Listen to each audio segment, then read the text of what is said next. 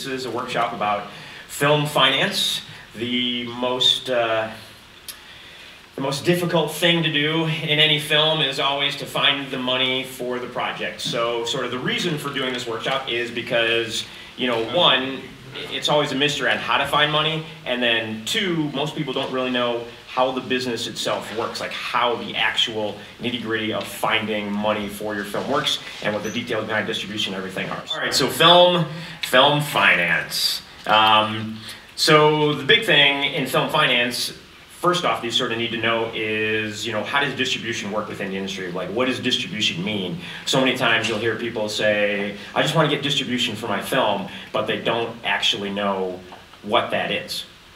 So you've got a variety of things. You have your studio films, you've got specialty studios, you've got uh, truly independent films, and um, VOD digital foreign sales as a component for distribution.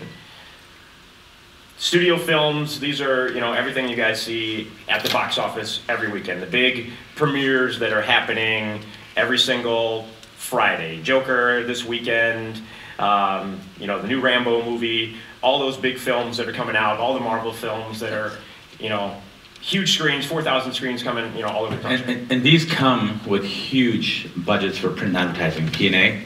And so what's really important to understand this is to get something like this off the ground, a, the P&A spend for a wide release movie is at least $25 million. So you gotta think, even with your budget, if you're spending $25 million, that has to get recouped first. The only way you get that kind of size movie out is $25 million or more in advertising.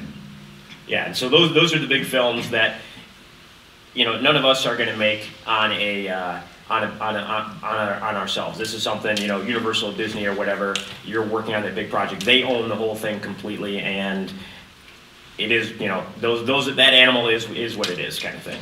Um, you have your specialty studios, your uh, Fox Searchlight type of uh, type of companies that are doing these moderate budgets, you know, five to twenty million dollars, thirty million dollars ish, and these these types of films don't exist much anymore. You know, a lot of these studios have either been bought up or they've uh, closed down, or now, you know, when Disney has bought up Fox, they, Fox had Fox 2000 and Fox Searchlight. They basically shut, shut down Fox 2000. They still have Fox Searchlight. But these are a lot of times the prestige films that are your, you know, Academy Award nominated type films and just fit in this small specialty range. They don't get the, the number of screens that the big ones get. They've got smaller marketing budgets. Um, you know, Weinstein Company used to be one of those, and everything they did, obviously, things have changed as, uh, as far as that goes. And I'm going to share that, you know, in that, in that space, here you get some pretty smart distribution professionals.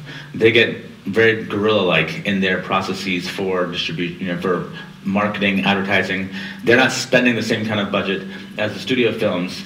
They're actually, you know, they, they'll spend quite a bit. They'll still spend five, ten million dollars, but they'll spend it smarter, using today with all the digital media uh, strategies, but also very much boots on the ground. I spoke to. Um, the um, a buyer at uh, Sony, I forget which, I think Sony Picture Classics, and um, they took, there was a movie that came out two years ago or a year ago called Searching. I don't know if many of you saw that.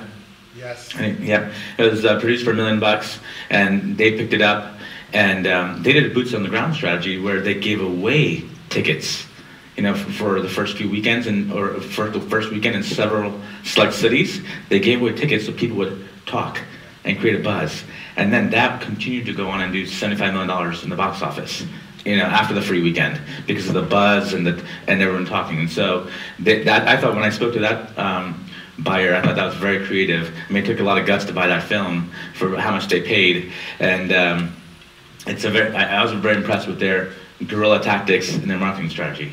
And a lot of times, what you'll see with films in this range is they're going to open first in 10 theaters, they see how it does in those 10 theaters, and then they go to 100 screens, they see how it does in those 100 screens, and if it's a, a film that generates buzz and continues to grow, then, you know, it can eventually reach out to those 1,000 screens or whatever, and could be one of those hits. Annapurna Films, um, uh, it's owned by Megan Ellison, who's the daughter of Larry Ellison, founder of Oracle. You know, her company has focused on a lot of these films, and they've actually had some struggles recently. They've, they've taken some swings at some, some films in this range and have completely missed on it. They've not done well. So this is a, this is a, a category category of films that is constantly shrinking, basically. So it's, it's very, uh, you know, as we know, it's a very tough business. I Um, say, um, I just forgot. Keep going. We'll Okay. so then, then your truly independent films, which a lot of people in this room I know have been in, involved in, and anything from the ultra micro budget, fifty thousand dollar feature, you know, up to you know million dollar range are are just these really small films. You know, very often you're not going to get a theatrical release at all. It's going to be you know straight VOD play. You know, you have very little money for marketing. It's typically financed by friends and relatives and just however you can scrape it together, Kickstarter or other platforms like that, or you're just able to find some investors who are interested in putting, you know, putting money into films, and you're not going to get typically a wide, you know, sort of a wide distribution release. Yeah. I, I just going back real quick to the special studios. Um, I'm sure many of you are familiar with Box Office Mojo. You can actually go in and, and dig into the details and data and see how they released the movie, whether an issue was 10, 100, 200, how they expanded that. And then you can also see the timing of the uh, awards uh, nominations. As soon as you get the nomination, boxofficemojo.com, and uh, it gives you all kinds of data on films. Now, you know, what they did in sales and box office revenues by country, um, by the number of theaters, um, all kinds of data. So you can go in and research some, you know, some of the films. You know, many of us sometimes, uh, as we're creating content or developing content, we're trying to think of a model that someone else did, or we're many times I, I research these things just to understand what other people are doing, so I can get smarter about strategies and what, um, what's happening in the current marketplace. So Box Office Mojo has a wealth of data to research some of the strategies that some of these specialty guys uh, use, and so they're the ones. You know, I, I still remember um, Three Billboards. You know, that's a great, uh, um, that movie uh, is a great example. I, I analyzed their release structure. They had, um, what do they call it? I forget, someone had a nickname for, um, for that pr- process, but you know, they had a release, and then as soon as it got nominated, then they went wider. And you could see that, you know, initially it was maybe 100 theaters, and all of a sudden it went to 1,000 theaters after the nominations came out for the Oscars. Yeah, and a lot of times with these with these small films, you know, that even if it's um, you know, let's say it's a half million dollar film or something like that, if you're lucky enough to get distribution where you do get some sort of small theatrical, it's guaranteed that you're going to lose money on the theatrical. But the reason I'm being told to walk this way to be on camera better. Uh, the reason that you'll do like a small theatrical for say a half million dollar film or something like that is because then once it goes to iTunes and some of the other VOD platforms, it gets ranked at the top.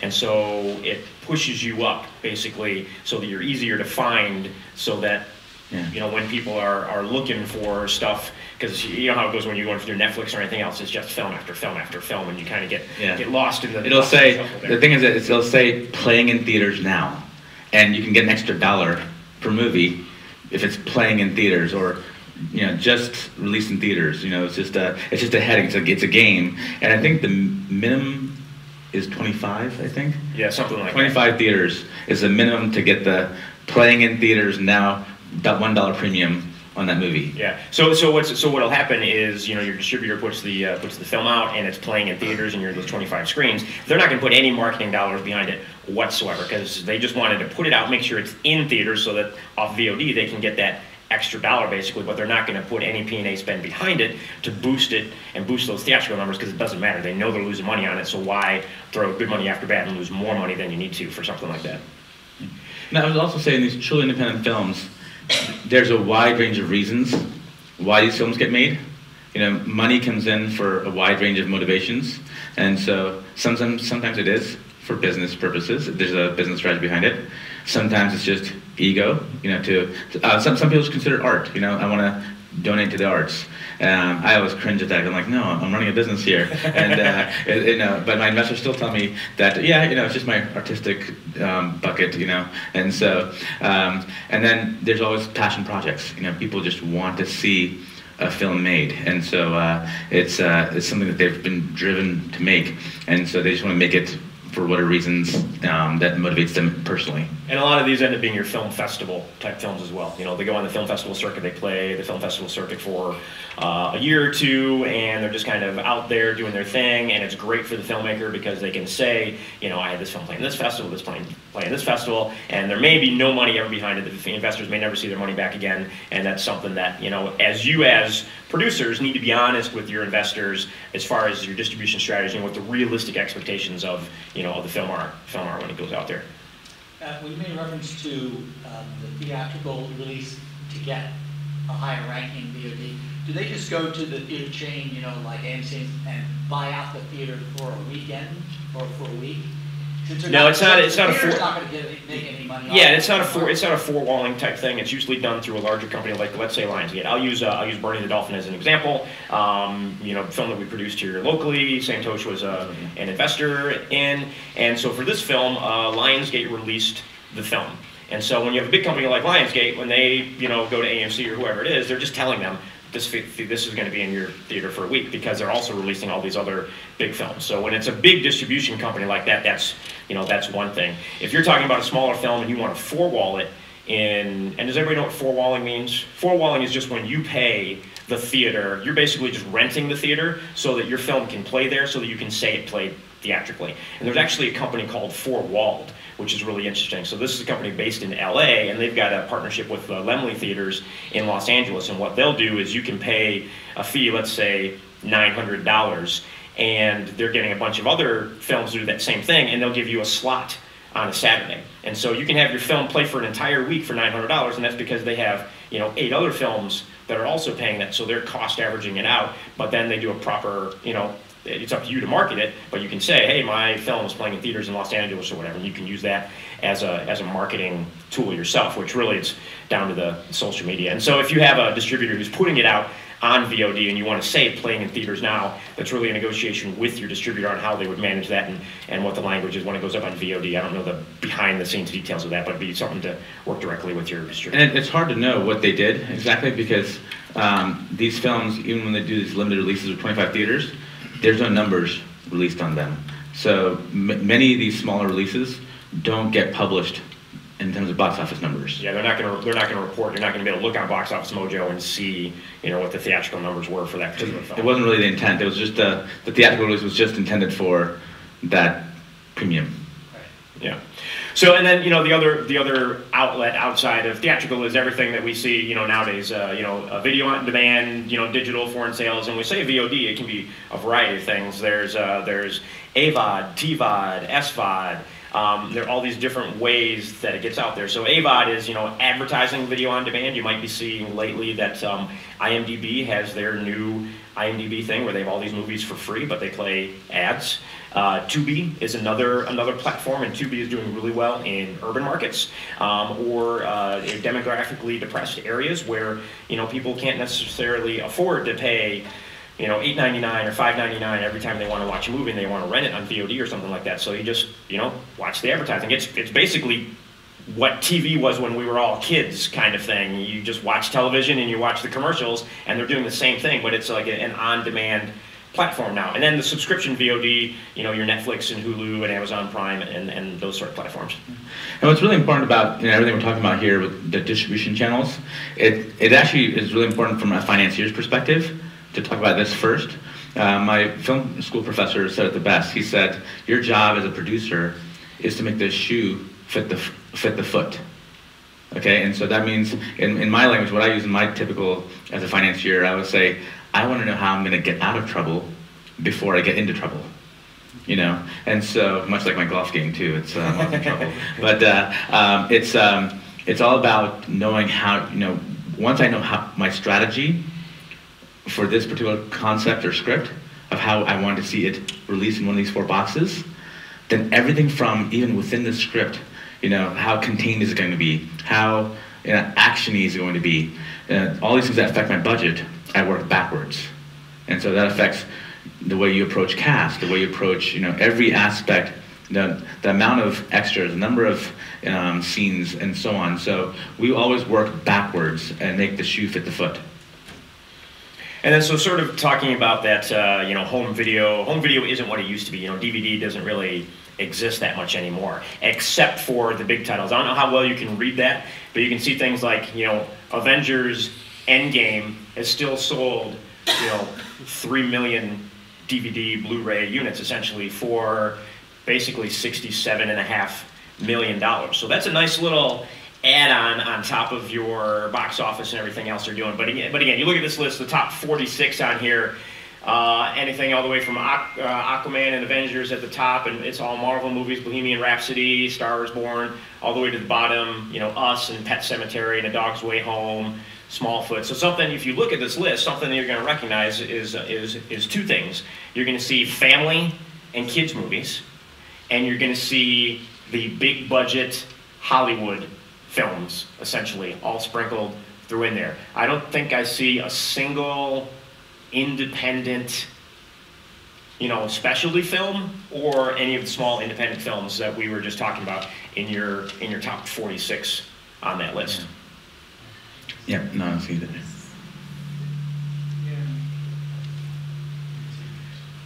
So, uh, so kind of a little breakdown to give you a little more understanding about about the films. I decided to use Black Panther as an example here. So, Black Panther with a two hundred million dollar budget, and like Santosh said, you know, typically a twenty-five million dollar marketing spend, but for a film like Marvel, what they do, they spend the equivalent of their budget on their marketing budget as well. So you're talking about a two hundred million dollar marketing budget. It's equal to the budget of the film. And Black Panther did some really interesting things. And even these big studio films, you know, when they have all this money spent on TV advertising stuff, they're still doing a lot of grassroots type of advertising. You know, Black Panther was very specific in reaching out to black churches and all sorts of different communities that they thought would be interested in seeing this film. It really drove huge, huge numbers of people to the theater um, for that. So you're talking about $400 million to put it out. And well, one thing keep in mind also with that advertising that they spend, when they're spending that size of a budget,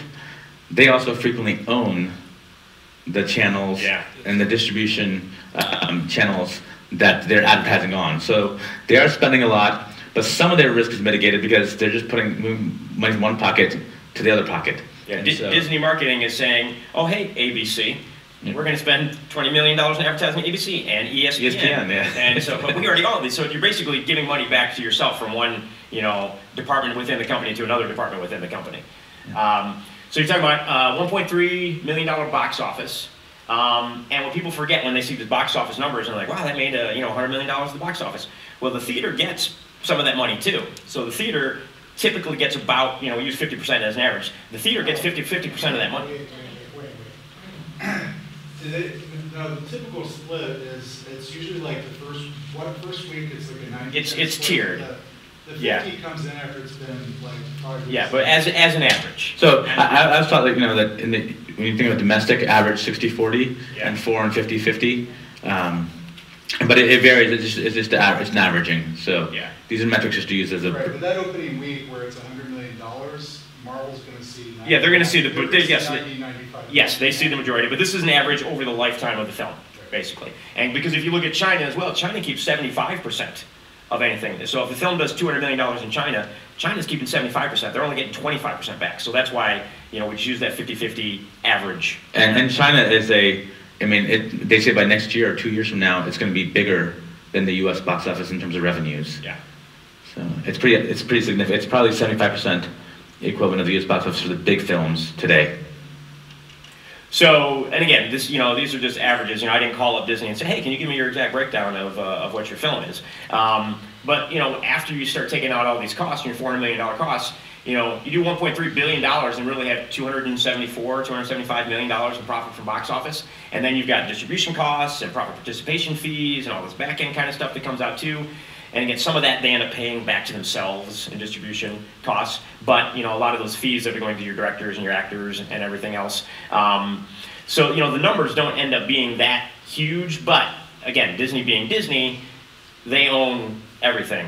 You know, from the from the toys to you know posters to slippers that kids are buying or pajamas or whatever else it might be in there. And some of the data that I've seen is that what you make, so everything outside the box office is, is both under ancillary revenues, is that the ancillary revenues are typically equivalent to the box office revenues on these big films. So, and the margins there are a lot wider, and uh, you've already spent the P&A, so there's none of that recoupment. So this is just pure profit from the ancillary. So this is, you know, watching a video on demand, selling rights to the airlines. When you, you know, many of you, I'm sure, watch some of these movies when you fly a plane. Well, those airlines have paid for those rights, and hotels and all those other places where we go, people buy these rights. So these are all ancillary revenues that they get subsequent to this. Yeah, so the numbers are going to be obviously be way, way, way more higher. But I just wanted to kind of give a sample idea of what a sort of what a breakdown, you know, of uh, of all of this is. And then you know, uh, Netflix has had a lot of the a lot of the Disney, a lot of the Marvel films for a while, and so Netflix is paying a huge fee to have those films on there. But now those contracts are expiring, and Disney has its new uh, platform, Disney Plus, that's coming out, and so you know Disney's pulling back all of the Marvel movies, everything Disney owns, off of Netflix for their own platform, and so now you know they're going to have their own subscription VOD platform where they're going to be making money off of that and all of their content, um, you know, coming up, and I think that's uh, about a month from now, November or, or something. So I wanted to kind of continue to break down um, sort of what the waterfall is and what this uh, what it looks like. Uh, this is for an example of a $30 million feature film grossing 75 million worldwide. So if, if, if you guys are not familiar with Stephen Follows, um, Stephen Follows uh, has an amazing, amazing website where statistically he breaks down everything you could think of within the film industry to a granular level, an amazing amount of data that's really worth researching and taking a look at. Um, so you know, again, take a, you can kind of take a look and you can see there with the theatrical, the home entertainment, the TV, the VOD, the other, which would be the ancillary that uh, that uh, Santosh was talking about. Um, you know what your total received is, what your P&A costs, your distribution fees, the sales agent. You know, if somebody's selling the movies for you, you know they've got to get paid. They've got marketing costs on top of it, your original budget. By the time you break down basically this $30 million film that did 75 million worldwide, the profit, $1.7 million is the profit back to your investor at this point and back to the producers off of $75 million. And there's a few other costs in there, the, the guilds and things that also have, there's some, uh, um, the SAG and other organizations have their fees off the top as well. Yeah, you're gonna, have your, your DGA and WGA and SAG and all the unions and everybody that gets any sort of residual stuff off of here. Have any? Are you guys familiar with what a CAMA waterfall looks like? How many of you have seen a CAMA? Uh, a CAMA is a collection account. So in a collection account, it, you'll see this waterfall laid out. Whenever you do a film and you have a distribution, you have a sales and distribution deal set up. All the monies go into a collection account. That we it's we call it CAMA. I think it's collection, collection account, account management something something is yeah. the last day. And so when you enter into those agreements, this whole waterfall is outlined. Yeah. You know? And there's and there's two main companies do that. One is called Fintage, and the other is Freeway, and they're both based in like Denmark or something like that. Yeah, they're in Europe. Yeah. yeah, somewhere somewhere in Europe. And what and what they do, these are this is industry standard. What you'll do is, and this is something that makes your investor feel very secure as well. So, at you as the as the producer, you know, tell your investors we're going to set up a CAMA account for the distribution of, of all expenses um, and for all for all profit. All receipts, all receipts, receipts of revenue. Yeah. So what they'll do is your distribution company, uh, whoever your foreign sales agent is, and your domestic distribution, they basically, all of the money that comes into them, they send to this CAMA account. And so this third party company then is responsible for doing all the distribution. So they've got all the contracts for your investors, they've got the contracts for all your all your sales companies and everything, and what they do then is they take 1% essentially, and then they'll distribute as the monies come in by based on whatever the percentages are. And so, sort of that waterfall that you that you saw where all the percentages are, that company will send you a, a monthly report or a quarterly report or whatever it is, and, and they send the wires, and you know every, everything is processed through them. So yeah, everything's wire transferred, and so it makes your it makes your investors feel much more comfortable because it's not like yeah I'm the producer and I just got all this money in, and yeah i will pay you, uh, yeah I'll be sure to send send the money your way. Yeah. So for example, like you know, let's say my film LLC that I set up for this at some point I just want to like close my books and end the LLC, I can just send a notice to the CAMA account and say, hey, now going forward, please distribute according to, the, to these people in these percentages. So whatever I was supposed to get, now distribute to all these people, and they give those, you can close up your accounts, and then they'll get 1099s directly from that collections company. Yeah, and it makes it a lot simpler too, because then as a producer, you yourself are not responsible for paying SAG and paying, you know, these other organizations that are getting those residual amounts because that's what you have to do out of everything that comes in too. So unless you are an accountant and it just, it simplifies things a lot, it's worth paying that one percent. Um, and again, it depends on the scale of your film. If you're doing a hundred thousand dollar movie or something like that and you've cobbled the film, the money together, you're not gonna bother doing a CAMA account. But you start getting, you know, even in the half million dollar range, it makes sense in the, in the half million dollar range to, Yeah. do, you know, to do that. And is that one percent of profits or that they get? No, No, they, they take one percent off the top. Receipts, yeah, but it's capped. So sometimes you can, you can negotiate, it's capped at five thousand dollars a year, ten thousand dollars a year. There's a cap to it too. Okay, thank you. It's not, it's not one percent forever. Yeah, and so um, so this is something that any uh, any independent film, just a quick breakdown, basically on uh, you know how do films make money. Um, many of you may or may not know that the, really the, the way you're going to make your money is off of your foreign sales. There are about 50 international territories out there, and when you get a sales agent, that sales agent's job is to sell every single territory individually and maximize and see how much money they can get from every single one of those territories towards your film, basically. Um, the box office really doesn't matter because you know let's say you put your film out there in Germany and it's out in the UK and it's wherever else. Well the distribution company in those territories they're the ones who are who are collecting that money and they've offered you a minimum amount up front The UK is going to give you $10,000 for your movie. Germany is going to give you $10,000 Spain's going to give you $3,000 and you're basically cobbling together these 50 different territories to try and equal your budget plus profit to be able to pay back your investors. And, let me share some perspective on this too. So I have seen. So I, I'm a, I'm a nerd. I go into the data. I analyze the numbers and all this other stuff. And I've actually seen like I'm like, oh, this movie. You know, they lost a ton of money on this. And then you talk to the foreign sales agents and they say, not, investors didn't lose money on this. So because uh, because of the sales that they made in foreign territories, the investors actually made money, even though the movie didn't make money in the public box office, and it may take a long time to make money in you know the different ancillary channels to the distributors who paid. But again, the distributors are buying this stuff because they need content for their platforms. They're buying it for a wide range of reasons, and so uh, they might be getting advertising dollars based on the cast and so on. So they've got advertisers galore. They're making revenues from commercials, and so um, the foreign sales process subsidizes the cost significantly. So if you take into account the foreign sales, the tax incentives, um, and then eventually your domestic sale, even though you, we as laymen may not see the kind of numbers that that film did, it may have made the investors and the teams a lot of money. Yeah. And so now here, here's something with foreign sales that I hear all the time. The um, people say, "Oh, but you're taking a discount when you do a pre-sale, for example." So before the film's even made, if you have a good script and you've got some key cast attached, you can sell the foreign rights to that movie in advance before the film's even made. And so, well, some people say, but you're selling at a discount.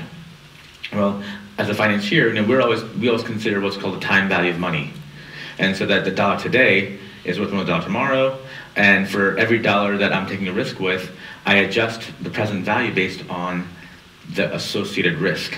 And so, if the dollar I'm investing is matched by a contract by a foreign buyer, then the associated risk is lower. So when I discount that future cash flow to the present value, I'm using a lower rate, which means it's worth more to me today. So yeah, it is. There is going to be a discount, but there's also risk in place. Um, uh, but at the same time, I think my view is many times the foreign sales that we see, from a I call it a risk-adjusted basis, is a no-brainer. Yeah, it is a discount for sure, but for the risk you're taking, it's a huge relief. So, for example, like you know, Middle East. Um, I think one hundred fifty thousand dollars is just the magic number. Almost every movie I've been involved with, Middle East pays one fifty. You know, that's just the number. Uh, but so I actually don't expect like the middle the Middle East itself is not a huge market. There aren't that many people. So even if this thing breaks out, okay, how much more am I really going to do in revenues in the Middle East, right? So I'll take that 150 as a pre-sale today. I have a contract in place. Um, a, a really hot market is Russia. CIS. It- It's been the numbers. If you look in, if you look in movies um, on Box Office Mojo, uh, you'll see like Russia. Like wow, it's like for the size of like that market, it's actually like it, um, they do good revenues, and so they pay. And so we go to these foreign territories and pre-sell those rights. Then there's some territories. There's not. You know, you have a billion people, over a billion people, like in India. You only get 15 grand. and it's because it's like there's so much supply of movies there. And like the average ticket movie ticket price in India is a dollar or two dollars, whereas in China it's seven, eight dollars. And so it's uh, each market has its own unique dynamics. But um, for me, I don't expect huge, you know, and um, overflow in the foreign markets. But where I do want to, you know, as an investor, I also want the opportunity to make a lot of money. And so I don't necessarily always pre-sell my domestic. You know, I want to be able to get the film made, you know, test it, and see, okay, is this something that, you know, we could, a, studio could pick it up, or one of the, the I, I, call, I call them the mini majors, you know, the, the second specialty. Um, a mini major could pick it up. Uh, we're doing that right now with a film uh, that we have uh, that stars Lily Collins and Simon Pegg. And we've done so much to it. We're going to uh, test screen it before we go to the next market in November, American Film Market, and uh, for domestic buyers, you know, do a nice little, you know, dog and pony show and uh, make them feel really good. But the domestic value is where I want to roll my dice. Now, on the domestic side too, so when we talk about foreign sales, there's one other thing we do too. Um, I, I don't feel comfortable always doing it in advance, but we in this uh, last movie, we actually after we made the movie and we were able to show some footage, we got a higher price. We did what's called a domestic backstop deal. What that is is a U.S. distributor says, okay, I'll pay you X, and I'll, in this particular case, I'll tell you it's, it's 1.2 million.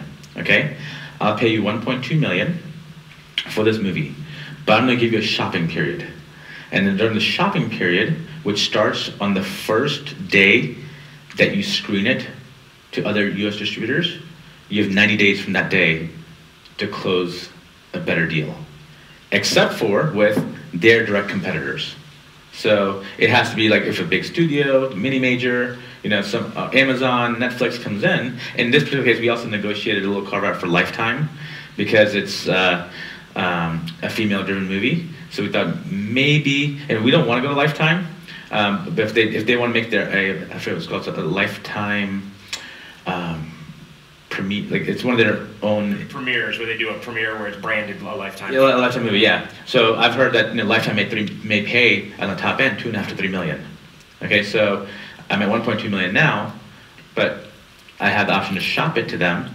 If no other big studio bites, then what happens is this: I'm going to sell the Lifetime because if I don't do it, well, these guys who are paying me 1.2 million, they'll actually ultimately do a TV deal with Lifetime. They'll get that money, and now, now I'm to only get 50% of that, you know. And so it's uh, better for me to take that deal today. Although for my actors, I don't want to do like, like you know, star actors don't want their movies to go to Lifetime, you know. So you'll actually hurt some of your relationship and reputation in that deal. But um, you know, but so I get this shopping period of 90 days from the first screening to go get a better deal, and so but what was it? So I was to say, so now, uh, after the film is made, I've actually fully hedged my risk. And I, if, I, if I go with someone else, I pay them a breakup fee. In this particular case, I think it's $200,000. And so um, I'm happy to pay them $200,000 if I'm getting three, four, or five million. It's just, uh, but at least my downside risk, the other side is, if no one shows up, um, that film could be worth 200 grand, half a million. So I've, I've hedged the risk in my film. So if I understand what you said, you pre-sold porn to reduce risk, and then you have this um, Backstop. Backstop. backstop deal. Um, Now, have you, based on the expenses to produce one, there's no P and A involved here, because you're not, so have you broken even? on- We're, we're already ahead. Okay, so. Yeah, you're up to because we also got the tax incentive. Uh, we filmed in Alabama where we got 25% of the total budget above the line and below the line.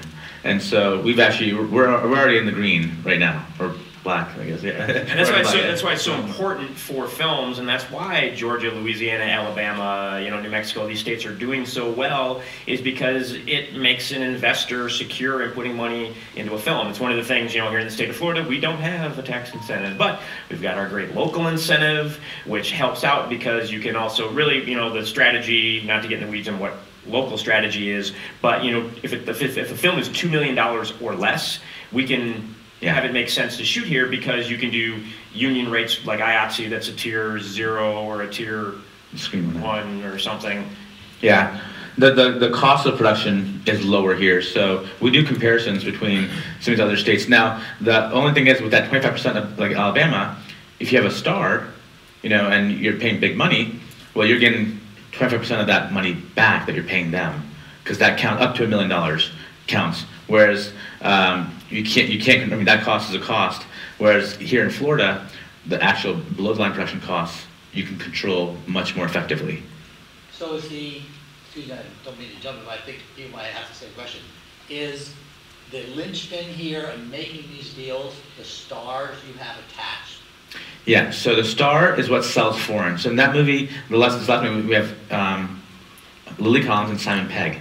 Simon Pegg is huge in the foreign markets. You know, he is just, I mean, people just love Simon Pegg overseas. So people have paid significant dollars for that. Um, I'll tell you, so we have a movie that's shooting right now in Boston. Um, our star in that is Diane Keaton. Okay, she's getting a big check, but we've got like the for the amount we're paying her, Germany paid the, the same amount. So I'm like, okay, well, okay, we got her covered just with Germany. So the Germans paid paid basically paid her fee for us, you know. So she so this uh, although she's only in like 18 pages of the movie, she's not you know she's only in 18 pages, and so but uh, she's getting paid a handsome fee, and we got that recoup from Germany, and so the uh, but the star is what sells. So do you have her sign a letter of intent, and that's how you can get your pre-sales?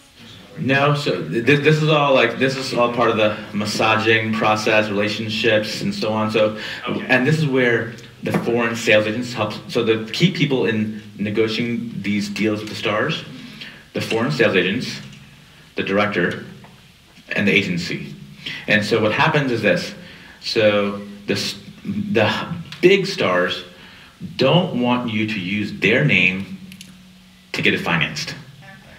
But the foreign sales agents and the ag- and the agents for the the cast, they talk. I'm Like, okay, we got you. There's a soft, you know. Okay, we'll work with you. And the foreign sales agent will will go out and solicit with their buyers because now these buyers in the foreign markets are it's a it's a circle. Everyone knows each other. We all talk, and so they will you know lock up soft commitments. And so there's that this trust that has to be there from financier, star, director, everyone, foreign intelligence. And so we, like, so for th- th- this particular film, Keaton did not want to use her name to get, you know, the film financed. But all the whispers, and then we, she told us that uh, we were told that we can get this this budget is a 9.2 million dollar budget movie. Um, we were told that we can get through five territories 2.6 million pre-sales with Diane Keaton. Okay, and we're filming in Boston where we have a two million dollar incentive. So now I'm 4.6 million. Half my budget is covered from only five territories and tax incentives. So they made the offer, a pay or play offer letter. Pay or play means like you're gonna get the money one way or the other. And so um, it's a hard offer to Diane Keaton. And so she signed. The next day, the pre-sale contracts were signed. We didn't use you to get this contract. We signed the contracts after uh, we made you the offer, you know. And so we didn't need, you know, you beforehand. You know, w- w- w- there are some actors who will play with you. So sometimes some smart actors will actually put on a producer hat. So my second movie, we had Tye Sheridan, uh, who was a star in. Uh, he was the uh, main character in Ready Player One, Spielberg's movie. If any of you saw that, he's the kid, the main kid, Ready Player One. So he attached himself to a movie. This movie, The Night Clerk, is a story about an autistic adult who works as a night clerk in a hotel. And his one of his childhood friends was autistic, had uh, Asperger's, and it's, it's about a child with Asperger's, and or a young man with Asperger's. And so it was meaningful to him. So he, you know, fell in love with the script, attached himself, and we we were able to pre-sell based on his name. Simon Pegg had a relationship with the director of my third film, and they had done a film together before. And he said, "Hey, Simon, I want you." They're both British, and so they said, "Okay, I'll attach myself." So we've pre-sold based on Simon's name. Initially, we had Kate Mara in the female role, but then she got pregnant and she couldn't, you know, um, during the, the, the dates didn't work out for her, you know, and so we got Lily Collins to come in, but we sold pre-sold on Simon Pegg's name. So there are, um, but with Tye Sheridan, he actually wants to go out and use his name and attach himself to movies and um, be a producer. So Do you have any experience with the federal government incentives? federal, I don't know about federal government. created something that basically you're spending on movies. The tax, yeah, that, it's tricky. I actually don't see it working. Um, they changed the, yeah, they changed the language. It says, uh, I, I tried. My dad's a CPA, and I, I, I picked his brain. like, come on, there's some way. Like, I, um, I'm very picky with the English language, and uh, I've actually won um, cases with the arguments with the IRS on the way they use their words. And so, and that's because I couldn't make it work. So the word, the language says, you can write it off in the year that it is released. Well, by the time it's released, I'm hoping I can get my money back. So you can write off 100% of your film budget and take a loss in the year it's released. But typically, like your revenues and are coming in at the same time. So like you'll write it off, but then you'll get the revenues and, and there's no real break unless it happens that you release it on December 25th, 26th, you know, around there, end of December. So you write it off for this tax year, and then the revenues come in in the spring of the next year. So you don't see it coming into play. It's not a motivating factor. It's a nice thing to get, but none of us have any control over release dates. And so ultimately that's in the hand of a distributor not looking out for your tax, you know. But there's no real benefit. It's all you're doing is deferring your um, taxes for that short period of time. Florida does have a, incentive, a sales tax exemption. Um, Yes. there's yeah, it's I don't know how much. So when you're comparing apples to apples with other states, I don't think it makes a difference. No, but it is a good, ex- um, something good for, for filmmakers. Absolutely, absolutely, yeah. So, so like if uh, you have an investor that's looking for a uh, tax shelter for, for money, then it really doesn't work then? there's zero tax shelter benefit because I mean you could defer for one year, you know. So, but like I said, it, it's the law says you can write it off 100% of your budget. You know, just like depreciation. If you you know in, in real estate, you can depreciate, or if you're a business owner, uh, the tax law changed in 2017 allows you to write off 100% of any furniture, fixture, equipment, capital improvement you make in that tax year. Um, and then in the past, you normally would depreciate your investment over five years, 10 years, seven years, depending on the nature of the asset. So with this, you're writing it off year in the 100% of the budget in one year. But then if, you, if a few months later, within the same calendar year, you're getting all your revenues, right? So then there's no real incentive. Actually, I think maybe I need to go back and look at my tax return and see. See if you Uh, no, well, well, so Bernie the Dolphin was released in December, 2018 but I didn't get my money until 2019, to like January. January 19th. All right, so we're yeah. gonna- So we're gonna- maybe that could work, you know. All right, so here we go. We're back up. Got the screen up. We our problem was we talked too much without moving, without touching the, sc- touching Okay. the screen. So here's some examples of some Did you want to go back one thing? Just of some recent any, films. on the tax. I think the tax stuff. Did anyone have questions on tax stuff, or is that pretty straightforward? Just make sure you give me a finder's fee if you get any more money then. So you were saying that it's a tax, a very good tax incentive in Florida, but you're. Yeah. Well, it's a, the, so for Florida, the state of Florida, it's a seven percent sales tax. It just makes it easier on your production when you're filming. You're you're not gonna have to pay sales tax. So it's not really an incentive. You're just saving seven percent of anything you pay sales tax on. And there are some markets in Florida, us, Tampa, Miami, that have a, uh, an incentive program about ten percent. Um, but here's some examples of some films and sort of what they've done uh, as far as their budget, their pre-sales, and their total sales. And so what I want, what we want to do is give you some examples of what a sales sheet actually looks like from your sales agent, where they're going to break down all the different territories that you could potentially, you know, be selling your film in. And you'll see over here they they have the stars, right? So in the sales stage, they always want to market who the stars. They're selling off the cast and the script. Yeah, so Anna Kendrick, John C. Reilly, Molly Shannon. Um, you can see what's your minimum guarantee amount. That's the amount that the distributor is going to pay to you for your film. And so you're looking at a $2.5 million budget. Well, you're you're getting a three uh, three million dollar. Um, you know, you already got your money back just from the United States from your domestic deal right off the right off the top there. Here's the rest of the territories. So the rest of the territories. So, you know, you take a look at, and what's interesting too is you can see the percentages from each territory. 16.6 from Eastern Europe, Middle East and Africa, 3.4%, 11% from China. You know, the totals at the bottom there. So if you go back and see the column, so you had ask, the take, and the minimum guarantee. So the ask is what the sales agent's gonna ask for your film, the take is what they're willing to accept from, So the take, Sales. as a financier, I'm typically, look, typically looking at the take. First, first I want to make sure uh, I'm vetting the sales agent. Are they credible, or you know, are they just making up numbers up, or are they credible? So some of the best sales agents have great reputations with financiers because they know they deliver on the takes, and so the takes are what we underwrite to.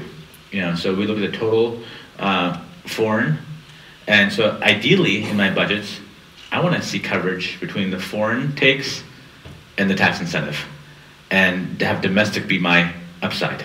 yeah. And so, and what you can see here too, that- so I did a little uh, reverse engineering to get these numbers, because there's a, there's a company called Film Take, where you can actually buy these reports, where you can buy these reports of sales for, for particular films. But what they'll do is they will take out the name of the film and they'll take out the stars, but they will tell you it's a male star that's between 35 and 40 years old, and it has the names of the distribution company. So if you sort of reverse engineer and go into IMDb Pro and Box Office Mojo, and you start with some of the numbers, you can backtrack and you can figure out what the films were. So I actually sort of reverse engineered to figure out what these films were based off all of the other data that they provided.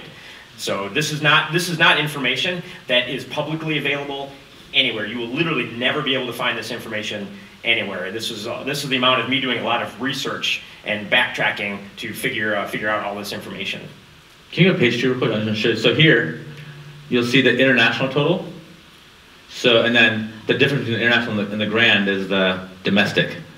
So we try to work off of the international take, the 3.9 million, take the tax incentive, what that's worth, and then I like to be where the sum of those two is 130 to 140 percent of my budget. And so, Say that again? take the international take value, the total. So th- um, this is a different film now, right? So yeah, it's a different film. in this one, the total international is 6.7 million, right? 8.5 includes the domestic take value. So take is the lower end of that value, and so 6.7 million plus my tax incentive, wherever I'm filming, if, if any, if I'm filming somewhere that has a tax incentive, I take the sum of those two, divide that by 1.3 to 1.4, and that's where I'd like my budget to be. Yeah. And that's what, I- as an investor, so we're talking about film financing, as an equity investor, that's what I'm looking to be, have, have my comfort. Um, and there's a couple of different things we do too.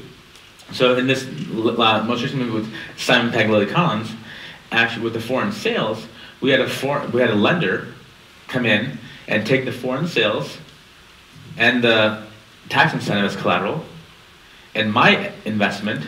So they have a first think of like a mortgage. They have a first lien, first position against the foreign sales and the tax incentive until they get their money back. I then took, we bifurcated it. My investment has a first position against the domestic value. So we have two different parallel tracks. And so my investment has a first position against whatever the domestic value is. And so um, now, and then we both have seconds again. Oh, thank you. We both have seconds against each other. So after they get, if they, if the foreign sells out tremendously, and I actually do expect the foreign to do really well, um, then I actually will get my money back. Like I said, I had the right to make get my money back just from the foreign, and the and the domestic is all upside. And so after they get their money back from the foreign, the tax incentives, then I recoup from there. And then if, if I haven't already recouped from the domestic sale. And so that's another way you can bifurcate. So these numbers, you know, can be, you can chop up. And I even know some film producers who, who they, they themselves will finance part of their own film. They'll say, I'm just going to buy, let's say, I'm just going to buy airlines for 250. I'll, I'll just buy it myself. I'll have my first against 250. I, I, I know that market, and I can do better than 250. So if over time you start learning the different, what the buyers are doing in the different markets, and you can, once you know those buyers, you know, you go to these markets, you know, you might meet someone, you know, at a restaurant somewhere, or a bar somewhere, in one of these markets, and they're buying for some territory, you build a relationship, and you can vet that with them. It's like, you know what, I'm just gonna buy that one territory myself and negotiate that myself, you know, so. Um, but that's how these, uh, just like, you know, in Wall Street, they can slice and dice mortgages and stuff, well, we can slice and dice territories, uh, in this structure as well. Yeah, and, and, and one of the important things to consider is, you know, like if you have a one, say a one million dollar budgeted film, you need to make more than one million dollars back in order to be able to pay back your investors, to be able to have, you know, the sales agents getting their fees and their cuts. And we do have some examples of that too, um, that we'll, uh, that we'll move on to here. I know it's, it's a lot to throw at you, but that's why we wanted to really dig into the nitty gritty of this. I'm trying to show some of the creative stuff we do, you know, like that. This is important. You can't, you can't do the creative side if you don't understand, uh, you know, this. This is a very, that's a very important sheet that we look at. That and the budget are the two things, Yeah. like, you know, I compare all the Yeah, time. these, these pages right here are something you will constantly be looking at with your sales agents and always, always wanting to see, you know, what the ask, what's the take, what's the MG, who's distributing, and, and really digging in, digging into those numbers. Um, the main markets where these deals happen every year, European Film Market, Marché du Film in Cannes, Toronto, and then coming up next, uh, November 6th, starts the uh, American Film Market in Santa Monica. Um, here are some examples of sort of the average, like he talked about, he said 150 grand is the number I always see out of the Middle East. Well, here are some examples of those average takes for films in this one to five million dollar range. And this is information from Film Take, which is the uh, the company I talked about, where you can buy these reports to sort of read these reports. They have Netflix sales sheets. They're they're not cheap reports, but it really provides a lot of important uh, data and information. You can see in there, you know, I don't know. Germany and France are huge markets. Those Yeah. are our biggest, two of our biggest foreign uh, sales. Um, Germany, France, Japan. China actually, even though it's a big market, it's 50-50 because uh, China has um, um, restrictions, how would they call it? Uh, there's a, a limitation, what's the word for that? Uh, yeah, they have some censorship. No, no, no. They only allow, oh, they have a quota Well, there's a quota There's a quota. like 30, 30 films per year from the U.S. from the U.S. Yeah. So if that get that 30 films a year that get theatrical, so the value of your film is binary. If you get a theatrical, it's worth this. If you don't get a theatrical, it's worth this. So you're like, okay, well, I'll take this number here. So your number is a little lower compared to the size of the market in China, because the the value is binary because the quota system, where other countries don't have the same quota system. You can find ways around that. If you have a producer who's Canadian and you make it, oh, it's a Canadian film now instead of an American film, so you get around that. There's, there's interesting, We, we, yeah, we, we do some creative ways of doing things like that. So here's, here's an example of kind of what is your, what is your indie film going to cost you? What's like, what's it actually, what do you need to make to actually make this happen for you? Um, and you have to remember that, you know, your investor, you as the producer, only own 50% of your film. Your investor owns 50% of your movie, or however you negotiate. You can negotiate 60, 40, 70, 30, whatever you do, but typically It's 50-50. 50, 50 split. And not only are they putting money in, but they're getting, you know, they got to get a premium on their money. So it can be anywhere from 10, 15, 20%. Again, that's negotiable with your investors, but that's, you know, typically. Depends on the risk, like I said before. Yeah. Right, exactly. Um, and don't forget your sales agent charges a fee on top of it, and there's a marketing cost uh, from your sales company as well. And the amount of that marketing cost is negotiable with your sales agent as well. So, you know, just throw up there, let's say you've got a film with a $1.5 million budget. Your investors need to get back their 15%. Your sales agent sells $2 million, so you've got $2 million in sales on a $1.5 million budget.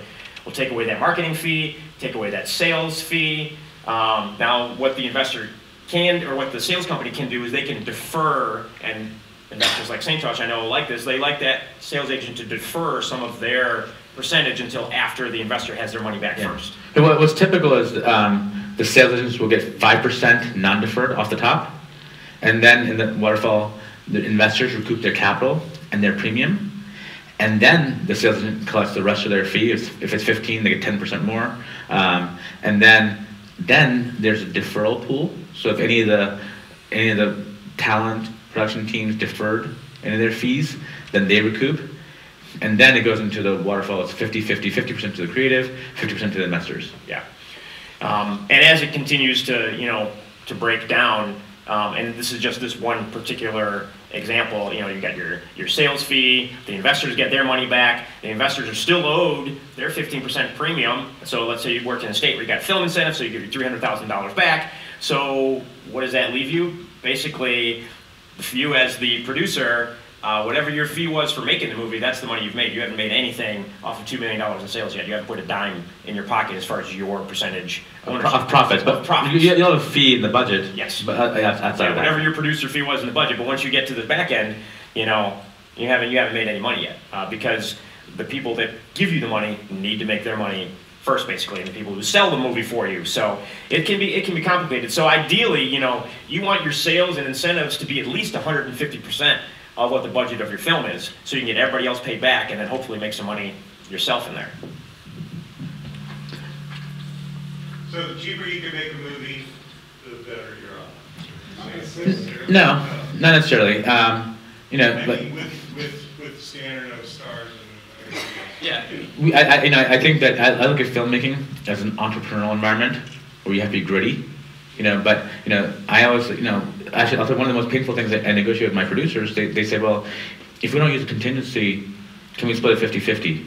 You know, can, can I keep some of it? I think that's the wrong incentive. Like, no, I want that money on the screen. You know, and uh, I don't want them to be incentivized to take money away from the screen. You still have to use your money smartly, and it might be that you use the contingency to do test screening, you know, after in post. There's so much things. I mean, I look at post. That you need to save some money for the post production to make sure the extra quality, and um, maybe investing in that trailer that you want to create Music. music, and so uh, I just want to make sure I get good quality, good value, you know. And, and so it's very much like you know, you can pay more for people who don't need to be managed, or you can pay a little bit less. You might have more work, but you might save, you know, a lot of money by just. But you know, it might be something it, like in post production, for example. There are post houses that'll charge you a lot more to do work, and there are post houses that'll charge you less. But the ones who charge you less, you may have to be there and more actively manage it. But if it, for many people, it's just their nature to be there anyways, to actively manage their, their it's your product. And so, uh, if you're the type, you know, that is going to be there anyways, well, why pay the premium post house that supposedly? I, I don't believe in the model that you pay more and th- those guys will take care of you. No, I believe that you have to be gritty on site and make sure you're paying attention to the details. No one knows it better than you and the vision for the product. And so you have to be there anyway, so get a better price and more actively manage it. And so here's a, here's a little bit of a breakdown of sort of the, uh, the average distribution fees. And again, this comes from Stephen Follows, which you haven't been to his website today, please go and check it out. He's really gonna, you know, really gonna, really breaks down all the details of what you're spending in development, production, post-production, post-production, your sales and distribution.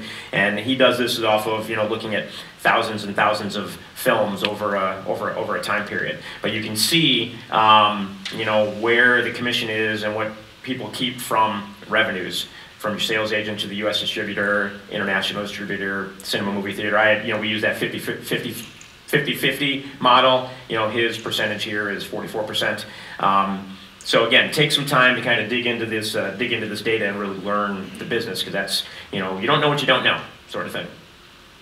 Um, and we went over this a little bit, but again, it's sort of another example of a of financing a film on how to finance the tax incentives and the pre-sales and you know let's you know use Louisiana as an example with a 30% um, tax credit. But you know you get that tax credit at 30% well the state of Louisiana doesn't give you a check for 30% of your movie. They give you a tax credit which you have to turn around and sell to somebody to actually get the cash for the movie. So you really end up with generally about 25% of of your money instead of that, that 30%, unless you have a business yourself that you're financing tax credit save on your own, on your own tax debt. Um, again, try and get around 30% of your film's budget pre-sold if possible, tax incentives, and there's the, sort of your samples and what, you know, Santosh was talking about a little bit on sample two there with the backstop and using, um, you know, the foreign debt to secure the pre-sale and um, having a first lien and, and so on. Yeah, like in this particular film here, there's a 4.8 million dollar budget. Um, like I told you, we had a foreign lender, we had a lender secured by the foreign rights pre-sales for a day loan 2.8 million. The key key talent um, and producers deferred about a million of fees, and so that that got to 3.8. So they're short a million. So I funded a million, secured by a first position against the domestic rights, which now we backstopped with a 1.2 million dollar backstop deal. What does the lender look for? Names attached to it or? The lender is only looking at the foreign pre-sale contracts. So they're lending, Have those in place first before you can go to a lender. right, they're lending eighty percent of the foreign sales contracts, um, because twenty percent, is a deposit that those foreign buyers are paying you up front. Okay, so you're getting twenty percent, so they're lending the balance, which is hundred percent of the remainder, the eighty percent. Plus, they'll lend you, I think, ninety percent, eighty-five to ninety percent of the tax incentive. And so In some states, it's a check. New Louisiana is a tax credit that you have to sell. Yeah. But some states just give you a check. Yeah, so if it's a rebate So- program, um, you know, it's just straight up check. For our local incentive stuff from St. Pete Clearwater Film Commission, Tampa Film Commission, that's just a check that you get, that you get as well. So they'll lend 85 to 90% of that. And then, again, if you have a good, and they also, by the way, in pre-sales, the distributors who are making these offers, they have their own database of who's legit, who's not, right? So they already know uh, who the, uh, the buyers are that they can bank. And then um, they'll lend you 50% against the unsold foreign territories. So that's called the gap loan. So, so there's a senior loan, a gap loan, and equity. So in this case, um, 2.3 million of it was senior, 500,000 was gap, and our million was equity. But we were first against the domestic. And there, there are certain companies that'll loan you the money. Uh, Three Point Capital is one. Bondit is another company. There are certain banks out in uh, uh, LA that'll do it as well. So you just have to find the banks um, that'll do it. And your your sales, depending on who your sales team is, your sales company should know. They know the players. those relationships as well. Yeah. Yes. So, so tell me this, right, if you wanted to film a local uh, movie here, could you be tax exempt, so that's around eight percent? Then get ten percent from Pinellas, ten percent from Hillsborough, so you're up twenty-eight percent? Yeah, essentially, it's not, not quite like that, that seven percent, it's not a percentage you get back, that's just what you're saving on sales tax. So you're not saving sales tax on any crew wages that you're paying, you know, construction costs, your equipment you know, that you're buying, things like that, you're gonna save that seven percent sales tax on. So you can't call it a a proper seven percent off your entire film, because you're not paying sales tax on every single. Yeah. It'll never, it never shows up in your budget. Your budget shows the uh, cost Right. net of sales tax. Yeah, so you, so you, Your- you're, your budget's saving not- money. But you can essentially, if you, if you film correctly between Tampa and Hillsborough, you can get that basically twenty percent locally for doing it, and there's. But it's uh, capped, right? Several films that, several there's films there's a cap. Yes, There's a dollar cap. So yeah, depending, again, depending on where, on what you're doing, you know, you're not gonna come in here and shoot a ten million dollar film and expect to get two million dollars back, because we don't have that money for the local, you know, um, you know, locals to give, to give out, so that's not something they're gonna do. What expenses would the tax exempt come into play, hotel rooms and that kind of thing, or? Uh, yeah, so you can save seven percent on, on hotel rooms. If you go to filminflorida.com or dot .org, which is the state site, it has all the information on the sales tax incentive there and gives you like the full breakdown on, on, on, on what it is. So as we get close to wrapping up, we're going to get through so we can get into all the Q and A's. We'll kind of go through these last few slides and everything here. Um, some common misconceptions about films, and we've talked a lot about this already, is that you know films must have a theatrical release. Um, like we talked about early on, theatrical releases are expensive and they can cause a film to lose a lot of money. You look at that pie chart there, you can see you know almost 40% of independent films shot in 2017 got no theatrical release whatsoever. Large release was only 17%, 35% for a nominal release. And you can see the genres there, action, adventure, horror, rom-com, thriller, as to which ones got no release and which ones got, you know, the largest, uh, the largest release. And at the bottom there, that domestic P&A spend. So again, I can't, I can't say enough good things about the data that Stephen Follows provides on, on a lot of this stuff. Another little breakdown there of uh, domestic versus international box office. And again, this you're talking looking at a 20-year period by genre. Take a look at the orange lines on the left columns there, how the international box office has risen and how the domestic has dropped, and see where they're kind of crossing there in the years where they're crossing, and you can see, you know, just how how how important sort of your domestic sales are. And these other little pie charts were breaking down, you know, your publicity and your trailers and your print marketing and your television, just sort of what your, your costs and your payout structure are for everything. So, so this is our last slide. Tony, You wanna go back? one Wanna go second, back? Yeah. Well, I did want to share something so that um, China, you know, has been expanding their box office. This this data is on percentages of box office. So as China has been growing as a box office market box office revenues, that's also one of the reasons why you see this thing Yeah. too. Because before, I mean, if you had very little, and they've grown, and they're about the same, almost the same size as the U.S. So as a percentage of worldwide revenues, you know, them growing is what's causing some of this too. Yeah. Um, but overall, you know, they say they, some of the numbers I was here uh, very. Uh, it's not based on data like Tony has, but about you know 600 films get made a year, 100 films get theatrical. Of those hun- 100, 50 are the big, you know, 50 weekends are the big studio movies. So there's 50 left, you know, out of the 50 out of the remaining 550. So 10% have a chance at wide box office, and many of those end up being those get that get nominated for Oscars and things like that. So you have to have something really unique to get uh, um, into the box office. Yeah.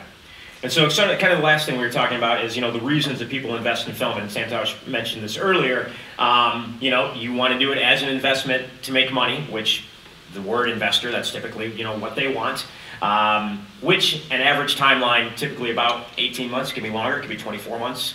Um, uh, if there's a story that you want to tell, something important that you want to say, and sort of social issues for the experience, because you know film is fun and cool, and you just want to be you want to be a part of that world, uh, support artists, your local community, or you know sort of sort of all of the above. So there's a, there's a lot of reasons people make films, a lot of reasons people put money into films, and whether you're investing in film or you are asking people to invest in your film, you know, take these things into consideration and be honest with the people that are putting money into your projects because they need to know up front, you know, hey, am I going to make my money back on this or is this just something I'm doing for art and, you know, whatever whatever other reasons I might have. Have any of you listened to um, that or what, read that book about Michael Ovitz at all? The- Michael Ovitz book. Um, in there, he talks about how even that movie, The Last Temptation of Christ, was a passion project, and in all their low and medium forecasts, was expected to lose money, and uh, they were like, let's go find someone who owes us a favor.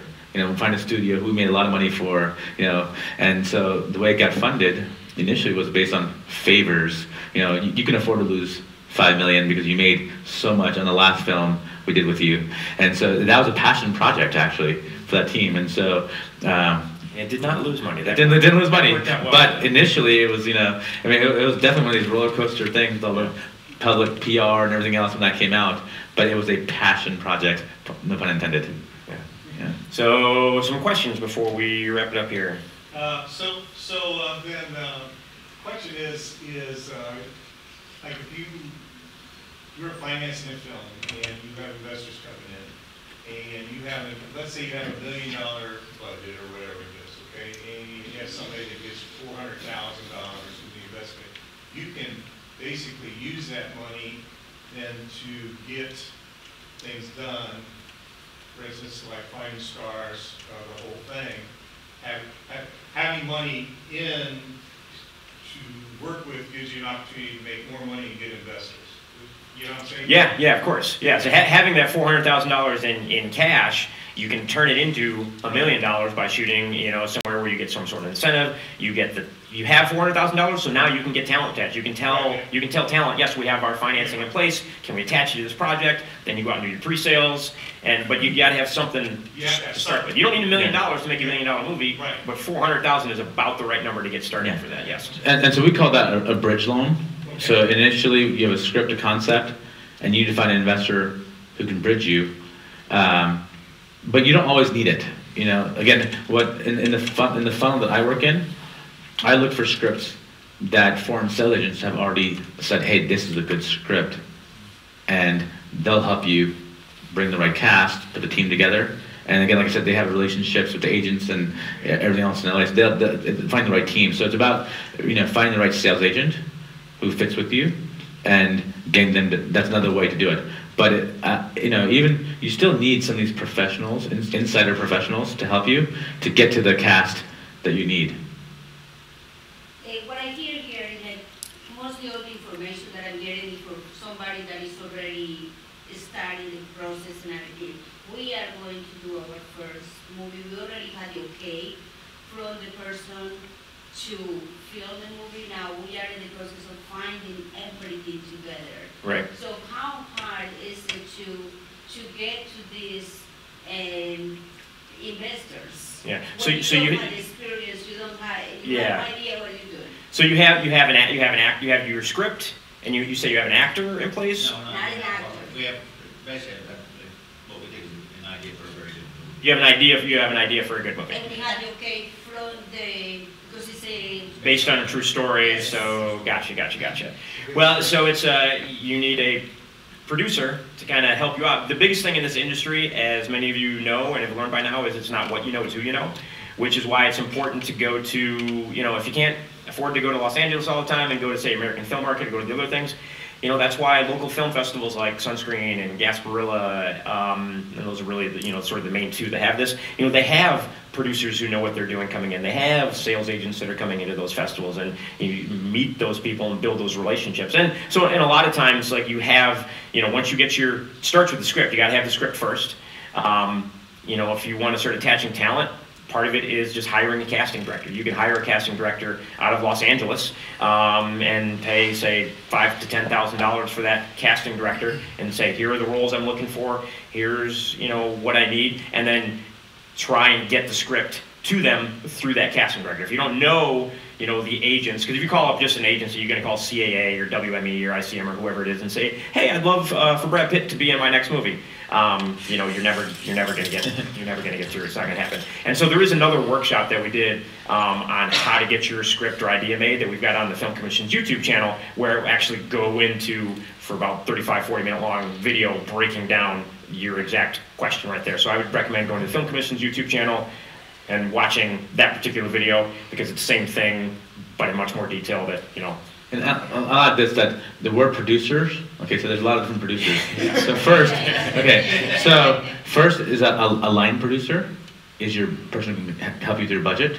Now, they're busy, it takes time to put these budgets together, but maybe you can say, hey, can you give me some other budgets from other movies you've made? And you, you wanna, you should learn the budgeting process for a movie, it's very important, and it helps, you know, when you're, when you have your script, you know, I budget, what, what my budgeting things are too expensive? Are there, you know, are houses blowing up, cars crashing, or is it, you know, people talking in a cafe? You know, what is it? So each of these things have, has a cost. So you want to be able to get an understanding of what the budget for this film is going to be before cast. So then there's producers who have relationships with talent and agencies. They're just networkers. You know, they know people. Those are producers too. Um, well, I had, I had a whole list of other people too, but uh, but there's there, the and then there's the producers who are really good at taking the project from start to finish. You know, they're the guys who deal with all the headaches, negotiate all the contracts, and they're just good problem solvers from start to finish, and who understand and appreciate the vision. They're, the execution uh, professionals. So, but I think the line, you know, my team, my business partner is a, line, is a trained line producer. So when I look at deals, I want to know is this budget realistic? Like if I'm investing in this, is, is someone giving me BS or is it a real budget? And so having someone who's that, like it's like a high-powered accountant, but for the film industry, you know? Yeah.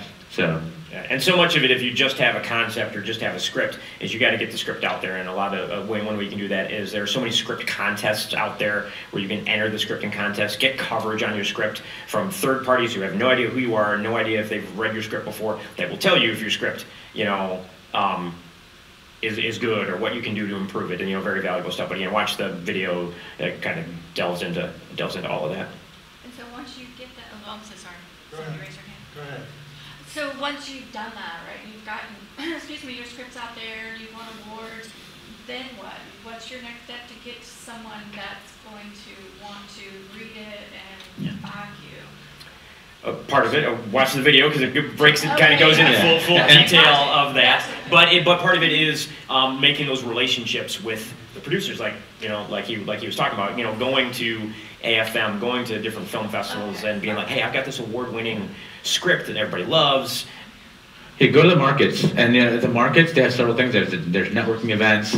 There's also and there's actually more you just go in and you know, uh, there's plenty of people to talk to, and so go in, talk to people, and uh, and it always helps. You know, I went to my first market with Tony here, and uh, I learned a tremendous amount.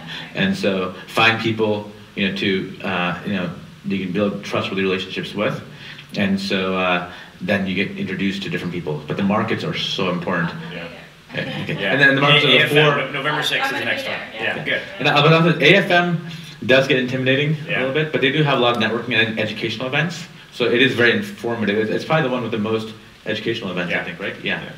Where's that? Uh, Santa Monica coming up November 6th is the is the next one. Uh, Can you talk about if, if they even exist, uh, any incentives that might be local for commercial filming? Um, no local incentives for commercials. Wow. Commercials are going to come anyway, so we don't incentivize And them. I wanted to add to your conversation if I could. Um, one thing you can also think about that's very similar to tax incentives is, um, I don't want to encourage everyone to think that product placement is that easy, because Right. it's not a major thing, most people are not Yeah. going to want to. But in some cases, you can get a brand new car from BMW. Sure. You've got the big star, and that's something you're not going to have to rent. Or probably a better example would be, um, uh, you know, if, if you had something that took place entirely at a theme park and somehow, and it was a positive uh, experience in the movie, Right. perhaps you work out a deal with Busch Gardens where essentially you're being allowed to film for free. and Marineland. tax- Yeah. You know, a huge chunk of your budget now doesn't have to be spent. Well, and, and so, perfect example, the two Bernie the Dolphin films, uh, Marineland, uh, which is a aquarium facility that does dolphin interactions with people in St. Augustine.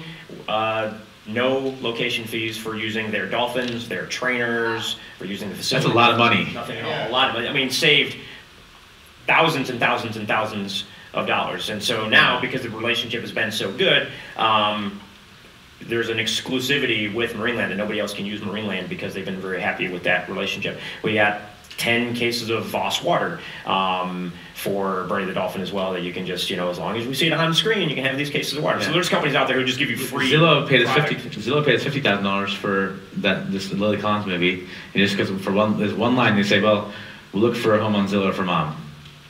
But then you have to make sure it's in the final cut. It is. Oh, Oh yeah. yeah, it is. Oh, it is. it almost got cut. I'm like no. Yeah, I think that line, yeah. Yeah. There was, uh, uh, over the years, I've, uh, doing my job, networking, and I'm, uh, between a line manager and a, and a producer, I'm the one who lets you know if you're doing this realistically, or if, like, you know, you gotta change that. Um, what about grants? Uh, grants money of, uh, it's not an incentive, but it's a, a gift, so to say. Yeah, so there's yeah, there's a lot of avenues to find money besides the It typical. doesn't have to get paid back. Yeah, there's a lot of ways to find money besides somebody who's just going to give you money. So grants are huge. There are so many different types of grants. There's, you know, the Southern Documentary Filmmaker Grant. There are innumerable types of grants, and there's a lot of sor- sources online where you can look for film grants. Uh, Movie Maker Magazine, I think, has a list. NoFilmSchool.com, uh, IndieWire. Um, there's there's several sites out there that always list this list of you know tons and tons of grants you can find. Grants, crowdfunding. Don't underestimate crowdfunding. You know, being able to. A lot of people have funded their entire films based off of uh, based off of crowdfunding. So you can do combinations of grants, crowdfunding, investors, tax incentives. eh, You can be completely original in the ways you cobble your money together for uh, for a film. Uh, I have to do a commercial for Women in Film. We just uh, closed out our scholarship for this year. For a feature film, we had $3,000 that nobody applied for, for a finishing grant. And, and it's a shame. And I've sent, I sent out tons of emails and to, it's, it's a members only. But nobody applied for it, so they lost $3,000 for that. Yeah, and I mean, and that can that can help pay for part of a composer, a little bit of editing, a little bit of whatever. Every little every little bit helps. Yeah. All right, so I know we're here for films, but do you have any expertise in like TV pilots? So TV pilots, I would say the thing with TV pilots nowadays is make a web series or make a proof of concept, put it online, gain as much interest as you can for it because so much of television nowadays, uh, you'll see a lot of stuff that's based off of web series, and people people want to see something works before they want to take a take a chance on it. It used to be you could go to NATPE, which is the National Association Television Production Executives. Uh, they do it in Miami every year in January, uh, but frankly, I think it's a waste of time uh, anymore. You just I, I haven't seen anything coming out of that since they used to do it back in Vegas in the early 2000s when you could actually go pitch a pitch a TV series and sell it. I, I just don't see it that much anymore. It's, it's really now moved towards digital, create the the web series, try and gain interest, build a huge following, and go from there. And I'll use another an example. There's a, a web series called Running with Violet, which is a Canadian web series, and they've actually shot a portion of it here locally, and they got you know several hundred, hundred thousands of dollars in grants to make their web series, and now they've been able to build up an audience doing two seasons of it, and they're in negotiations to turn this into a series, you know, with a Canadian company. So that's sort of the model when you talk about Okay. television series, so essentially. when you say proof of concept, are you saying that you need to do like the first season or just the first episode? Um, Maybe start with the first. Yeah, if you're talking about the first episode and you're going to do, say, you know, a 45 minute episode, I would instead break that 45 minute episode into, you know, 10 four minute chunks. So now you've got a 10 episode web series that are four minute episodes a piece. That would be how I would how I would break that down. I think you're better off doing a series and, and gaining interest in the series. People are more likely to watch something serialized like that than just a one off episode of something. Okay, thank you. I'm not texting, I'm writing. Um, Animation films. Everything you talked about does or doesn't apply, I mean, particular, anything in particular, animation, your star's face is not on the screen. Any comments uh, in that arena? Animation's expensive. Yeah, Um, it's t- I, I, so I haven't been able to successfully navigate an animation film yet. Uh, it is expensive, it takes time, and it's, there's, you know, you really don't know, it's hard to understand what this product's gonna come out like in, in, in independent space. The proof of concept is important, something like that too. There's a local company, uh, Echo Bridge. I don't know if anyone's familiar with Echo Bridge. If you want to talk animation with anybody, those are the guys that will really be able to tell you everything about animation because they're, you know, they've created and worked on, you know, major animated television series and other projects. And I know they're working on trying to put together a feature. And this is an animation company, and they're having a hard time putting together a feature animated film. So, you know, there you go. Any other questions? Well, great. Well, thank you guys so much for coming out Thank today. you. Hopefully, we didn't bore you too much or get so into the weeds of the financials that, uh, that you're totally confused. But we, we are recording this, obviously, so um, in a couple of weeks, we'll have this video done and we'll throw this up on our YouTube channel as well. So, any workshops like this that we do, we're always going to throw up on our YouTube channel. So, feel free to go check that out to find more, more things like this. Will we also be able to get access to PowerPoint? Yes, yeah, shoot me an email, tony at filmspc.com, and I'll, uh, I'll email the PowerPoint over to you as well, just as a PDF. Great. All right, Thank you. thanks, everybody. Thanks.